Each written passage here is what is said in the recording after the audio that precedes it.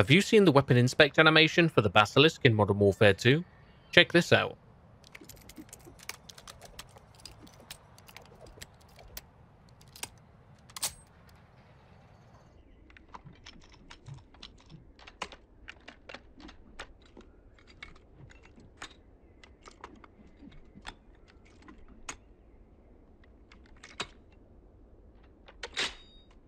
Now that is cool.